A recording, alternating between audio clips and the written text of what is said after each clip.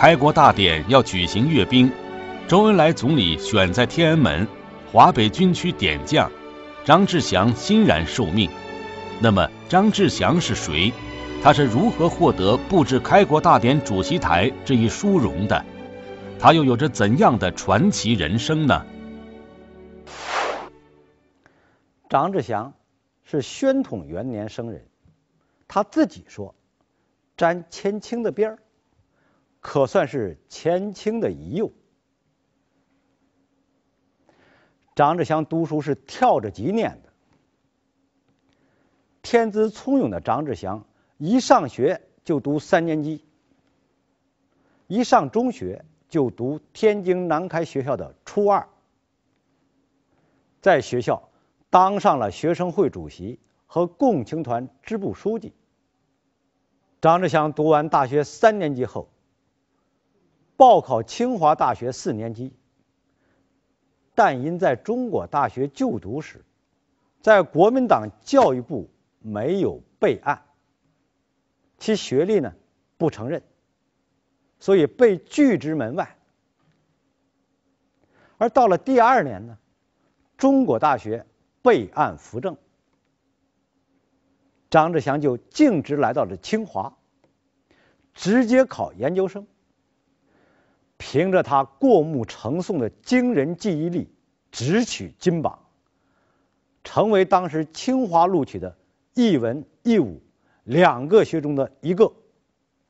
而另一个学生，就是后来成为大数学家的陈省身。一九四一年，张志祥担任了平北抗日根据地的专员。在根据地，张志祥进了《晋察冀日报》做副主编，邓拓是主编。这段办报的经历，促成了他后来就任华北军区政治部宣传部部长。张志祥是在一九四四年正式参军。在华北军区工作。一九四八年底，张志祥呢随聂荣臻的部队进入北平城。当天安门城楼被确定为开国大典的主席台后，周恩来彭真点名，叫张志祥来布置开国大典的主席台。说起来也很传奇，他是怎么被周恩来相中？指定为开国大典天安门城楼布置的总指挥的呢？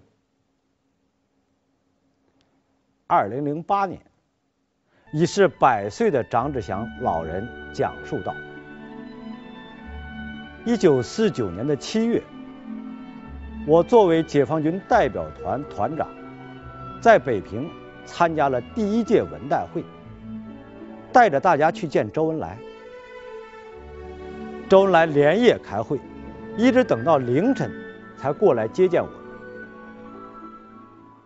周恩来对我们说：“对不起，让大家久等了。”我张志祥管不住爱说的嘴，开玩笑回了一句：“说没事儿，天还没亮。”这句话把周恩来和大家都说笑了。可能就是这次。周恩来记住了我。那么，由于周恩来的提名，当时的北平市委书记彭真安排张志祥负责天安门城楼的布置和指挥工作。此时距开国大典只有短短的二十天时间了。当时的天安门广场是一片荒芜，到处是比人还高的蒿草，布置起来的难度。可想而知。而看完天安门城楼现场的张志祥，赶忙驱车回到了华北军区政治部。的确，这次天安门广场的布置任务非同一般。任务主要有修整天安门广场、天安门城楼的布置及搭建城楼下的观礼台和升国旗的旗杆等等。国旗是新中国的标志，一定要由毛主席亲自来升。但城墙离旗杆很远，毛主席怎么可能从城楼上走下来，升完旗再走上城楼呢？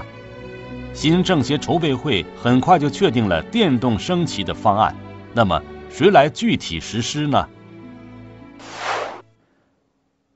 北平市建设局接受了国旗旗杆和电气设备安装施工任务，并委派富有经验的工程师林志远、梁长寿两位专家。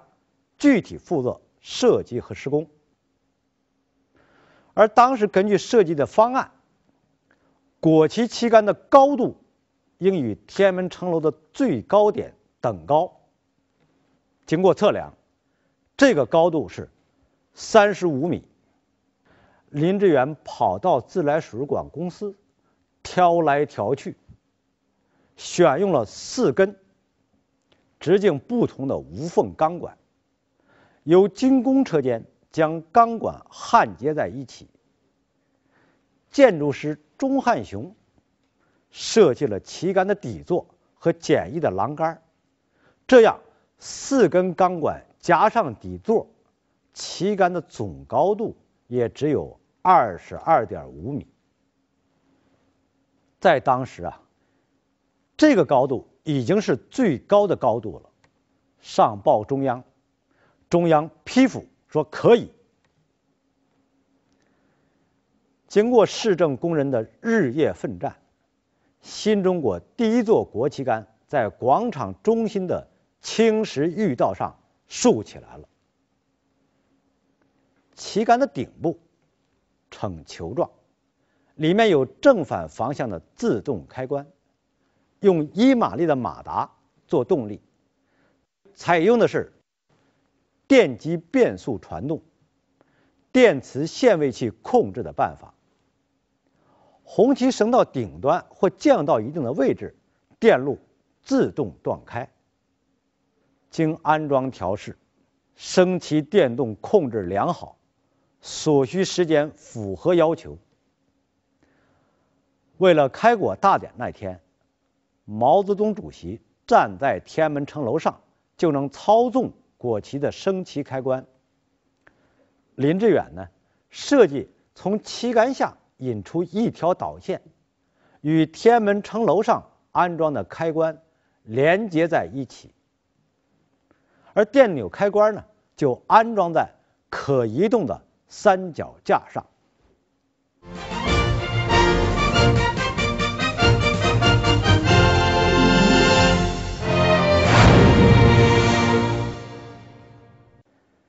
十月一日一大清早，周恩来又派来聂荣臻，专门到广场来检查升旗装置。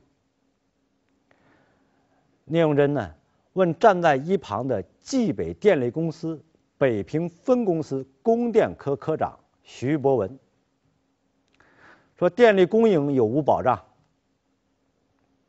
采用双电源供电，一路来自石景山电厂。经前门变电站到广场，另一路来自平经堂电网，经东城变电站到广场。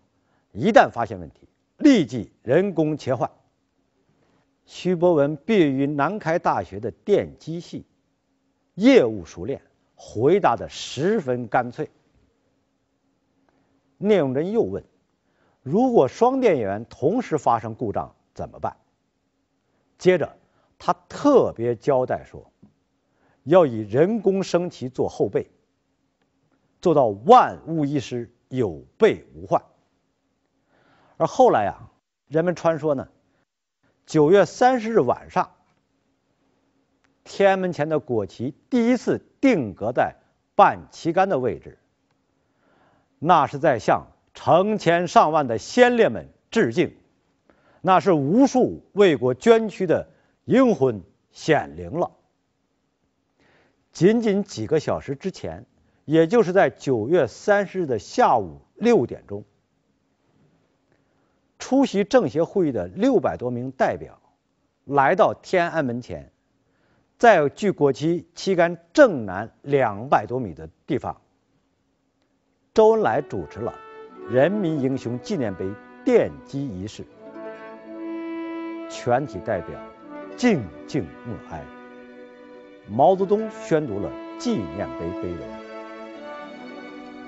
接着，毛泽东、朱德、刘少奇、周恩来以及政协委员代表，怀着虔诚崇仰之情，为百年来英勇捐躯的千千万万的英灵产下了一先先一九四九年的十月一日，天安门成了世界所瞩目的焦点，一个人民当家作主的新中国诞生了。这一天，林志远奉命在开国大典升国旗时，站在毛主席的身旁，协助升旗工作。升旗电钮设置在一个三脚架上，林志远经工作人员的指点，把三脚架放在毛主席将要站立的地方。到时由他向毛主席轻声禀报。升国旗时，请您按一下这个电钮。下午两点五十五分，毛泽东主席、党和国家领导人陆续登上天安门城楼。三点整，历史性的时刻来到了。中央人民政府秘书长林伯渠宣布，请毛主席升旗。这句话有一个明显的缺陷。站在他身边的工作人员意识到，赶紧小声的提醒道：“请毛主席升国旗。”林伯渠又大声的宣布了一次，增加了一个“国”字。毛泽东听到“请毛主席升国旗”后，便大步地走到升旗按钮前，用力地便大步地走到升旗按钮前，用力地按动了电钮。那面巨大的国旗缓缓上升，最后定格在二十二点五米高的白色铁杆上。升得好！高音喇叭里传来毛主席的赞扬声。一九四九年十月一日这天，天安门成为新中国精彩的开篇。这一天的辉煌如何开创？开国大典主席台为何选在天安门城楼？谁是开国大典的大忙人？在这个舞台的布置上，又怎么出现了两个日本人？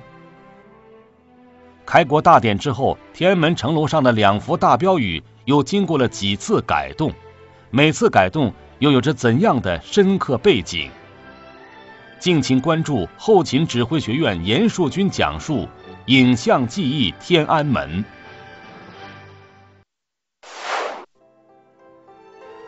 对开国大典天安门城楼的设计与布置的重任，张志祥也早有考虑，其任务布置。几乎是与国旗杆的修建同时下达的，也就是在确定了国旗杆修建之时，张志祥来到东单杨毅胡同，把天安门城楼设计与布置任务交给了当时住在这里的华北军区政治部文工团舞美队队长苏凡，而苏凡却将如此重大的政治任务交给了两个日本人，这又是怎么回事呢？五美队长苏凡受领任务后，即令毕业于日本美术专科学校、艺术造诣在当时华北军区部队中属一流的两个日本人，一个是四十岁上下的萧野，一个是三十岁出头的森茂。苏凡让他俩用最短的时间设计出最好的。布置方案，萧野和森茂在设计之初便想到了中国的宫灯。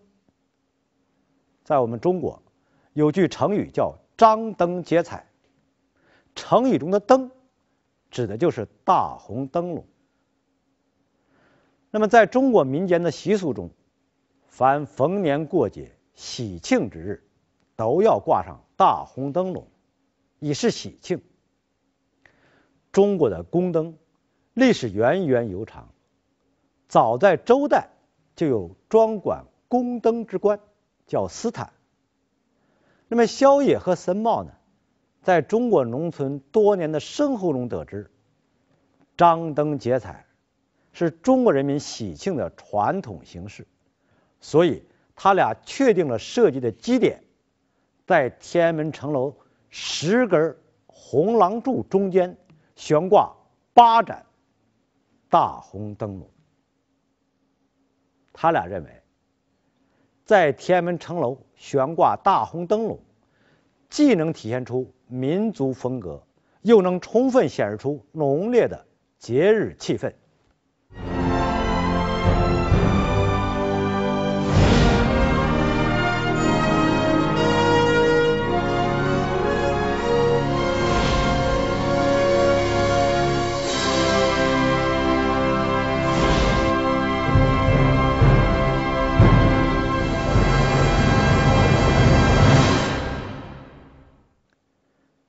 十一的前一天，八盏大红灯笼制作完成了。宫灯的直径均为七点六尺，扎灯用的主要材料是生长在三年左右、高九点四尺以上的毛竹和鲜艳不褪色的红石林布以及松木等。每盏灯一般需要四十八根灯条。和由十二块松木制成的上下灯牌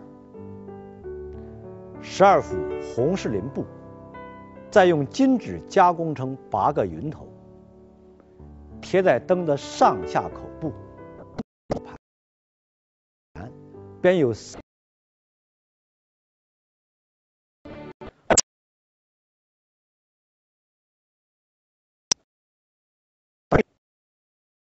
工艺。新中国成立后，北京美术红灯厂承担了历年制作天安门城楼上的红灯的任务。这次制作的宫灯，每个重八十公斤。张志祥调来了一队战士，搬来几架梯子，前呼后拥，折腾了好一阵子，才把这几个宫灯送到。十根廊柱之间，并悬挂在横梁上。至此，八盏有史以来最大的宫灯悬挂完成。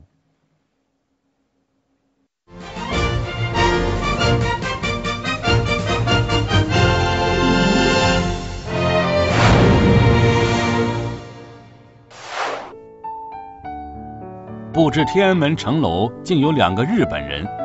说到这里，可能有人要问：怎么选用了两位穿军装的日本画家呢？这就需要了解一下萧野和森茂在中国的传奇经历了。萧野的父亲是东京小石川的工人，因家境贫寒，萧野从小就瘦弱，他立志要成为一名画家。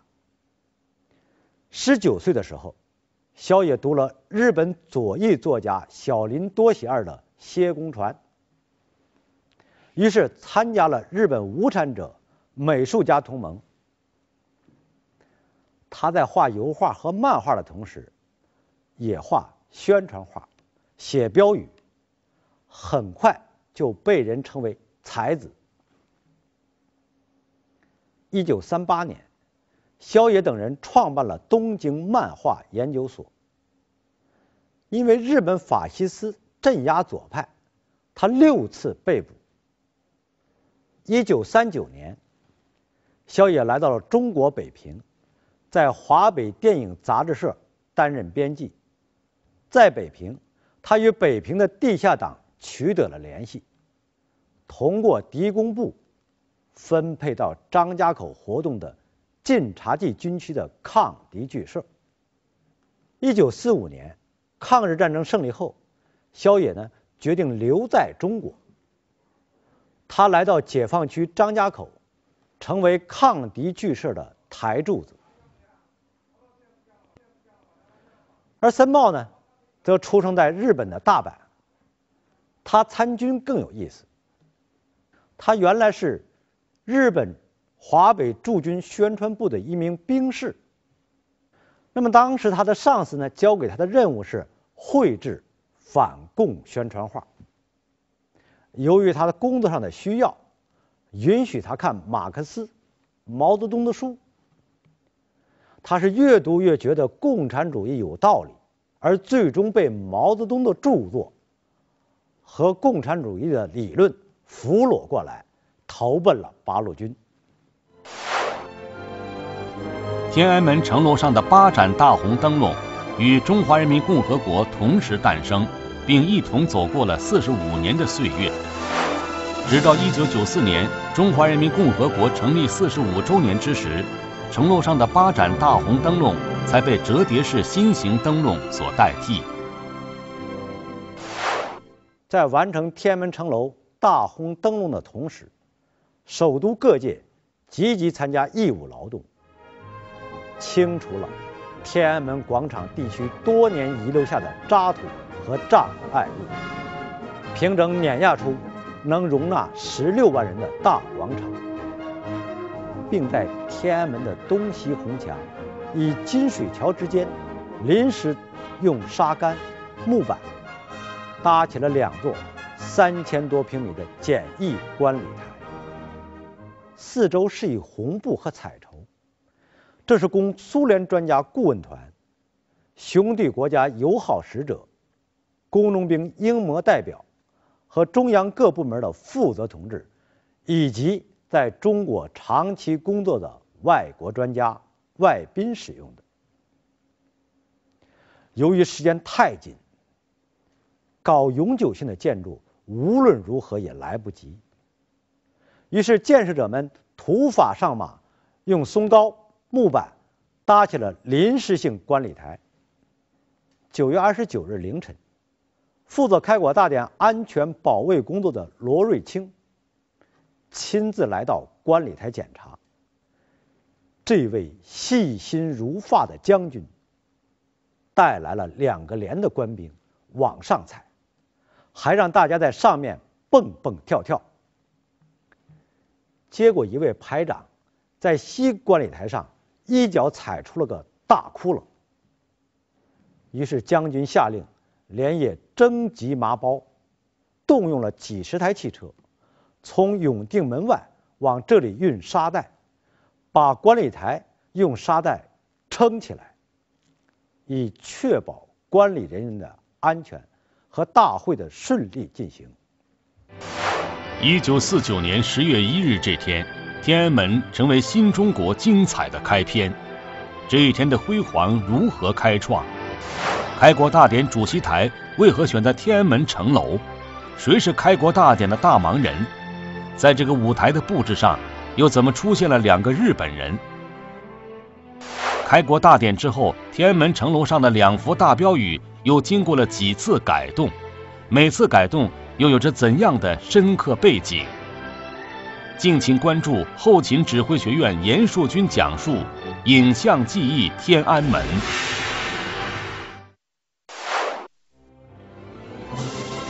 与此同时。天安门城楼正面的红墙上，赫然醒目的高悬着两条巨幅标语：“中华人民共和国万岁，中央人民政府万岁。”标语是用繁体字书写的，每个字都有一个房间那么大。天安门城楼上的这两幅巨型书法，实际上是一次超级书法展览。那么，这位超级书法家又是谁呢？他。就是钟灵。钟灵，一九二一年出生于济南的南关，一九三八年济南沦陷，钟灵是瞒着家人，经武汉到长沙。钟灵是瞒着家人，经武汉到长沙，参加了抗日救亡运动。一九三八年七月，钟灵在湖南加入了中国共产党。同年九月，党组织派他到延安。十七岁的钟灵在延安担任的是电话接线员，而与此同时呢，钟灵又爱上了宣传鼓动的有力武器——美术字。楷体、宋体、篆书，他都下过功夫，临摹过。他是仗打到哪里，他就把漂亮的标语刷到哪里。所以在延安，钟灵能写一手漂亮的字，几乎是家喻户晓。有一件事儿足以证明他在延安的名气有多大。说钟灵啊，是瞒着家人来到延安的。时间长了，他也想家。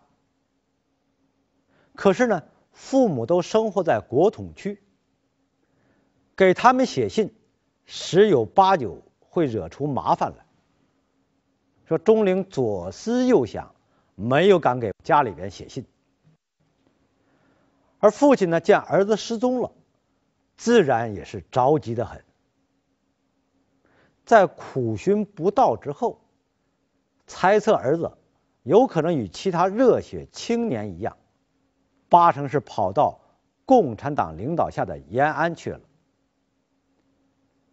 便抱着试试看的心理，发了一封信。信皮上写道：“寄延安，中国共产党中央党部钟灵手。”而当时他父亲也仅仅是按照国民党中央党部的称谓写的，并不知共产党中央怎么称呼、怎么称谓，更不知钟灵是否真的在延安。但因钟灵在延安活动积极，被称为延安的四大盲人之一，这一知名度让他居然收到了家里的书信。等到他的回信，一家人才放下心来。一九四九年开国大典前，周恩来和胡乔木决定在天安门中间的门垛上方挂一幅毛泽东主席的画像，画像的两侧的城墙书写巨幅标语。那么在当时，钟灵担任中国人民。政治协商会议筹备委员会总务处办公室主任兼会场的布置科科长，这两条标语的书写，那就责无旁贷的落到了他的身上。接到在天安门城楼书写标语的任务后，钟灵非常激动，他决心使出自己的全部的。看家本领，在这个非同寻常的地方好好的露一手。那这两条标语是写繁体还是写简体呢？虽然在解放区已经流行了简化字，但北平刚刚解放，大多数人还习惯使用繁体字。为了照顾大多数。钟灵决定仍用繁体字书写这两副标语，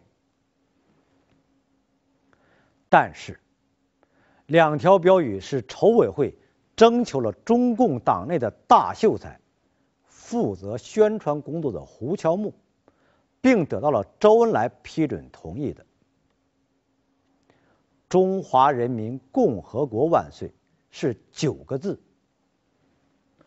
中央人民政府万岁是八个字，两边的字数不等，但这是中央定下来的，没有变通的可能。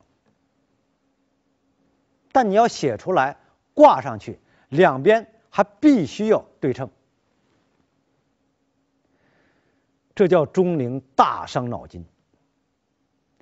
而钟灵呢，在实际测量中发现。天安门城楼上的九间门楼，其实宽窄不是等同的。门楼的中间部分是最大，四六、三七、二八、一九间，依次递减。但在人们的视觉中，却感到左右四间都是对称的。这肯定是巧妙的运用了视觉的错觉原理。那天安门的两条标语的字句，不也可以利用视觉的错觉原理进行安排吗？钟灵的脑袋就是灵，一个难题从理论上得到了完全解决。在天安门城楼重檐中间，也就是后来悬挂国徽的地方，挂出了一条巨幅红布，上面写着“中华人民共和国中央人民政府成立典礼”十七个大字，这也是。钟灵的书法杰作。新中国成立时，天安门城楼上的两条标语无疑是恰如其分的。但建国后，“中央人民政府万岁”这条标语与当时的形势就有些不符了。那么，又是谁首先提出要改动的呢？一九五零年的六月，新闻署总署长胡乔木提出将。中央人民政府万岁，改成世界人民大团结万岁。对天安门东侧标语的改动，胡乔木有这样的解释：天安门上的两条标语，一条写中国，一条写世界，既有民族意义，又表达了国际主义精神，无论何时都是适用的。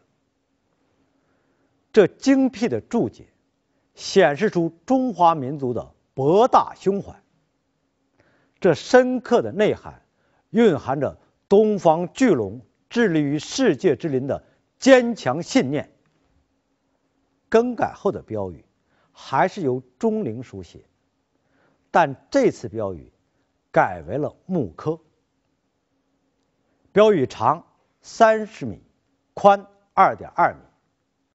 标语置在城楼的正面上方，不仅仅在于它的装饰性，更重要的是使这座古老的建筑具有了时代的特征。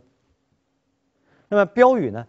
它采用了我国传统的楹联对称形式，底为红色，字外框均为白色，且字与框突出墙体。这一富于变化的设计，使整幅标语既大方又具有立体感。当年留下的影像资料，给我们提供了历史真实的场景。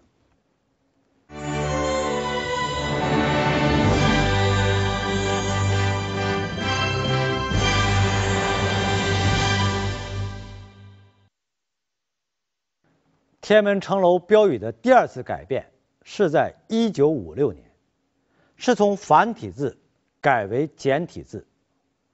天安门，共和国象征的标志建筑，其文化的表征也在其身上最先表现。当1956年第一批简化字正式公布后，在天安门两侧的“中华人民共和国万岁”。世界人民大团结万岁的大标语，首先进行了局部的更换。从当年的影像中，我们看到，只有“万”字由繁体字变为了简体的“万”字。到了1964年，国务院又公布了简化字总表。1964年的5月1日开始，天安门城楼两侧的大标语。全部使用简化字，天安门两侧的标语全部实现了由繁到简这一历史性的改变。而此时的钟灵已离开了中南海，调任中国美术家协会任副秘书长之职。天安门管理处通过国务院机关事务管理局的局长于新清。找到了他，下达了将天安门两侧标语由繁体字改为规范简体字的任务。这次修改字体后，这两条标语四十多年来一直没有再改动过。当然，灯箱的维修更换就不止一侧了。天安门的两条大标语，保存时间之长，所处地位之险要，并且被认为是宋体美术字的书法的典范，这都是当初钟灵所不曾预料到的。走进这个红舞台，我们会看到伟大的领袖毛主席，而无论在哪个角度，伟人毛泽东慈祥的目光都在注视着你，似与你交谈，一下子让你与这个红舞台贴近，与伟人贴近。在你走进这形似神也似的伟人身边时，你又会不由得探寻到。这红舞台上的毛主席画像是谁画的呢？好，这一节就介绍到这里。下一节我将向您讲述一幅画像铸就的伟人风采。谢谢大家。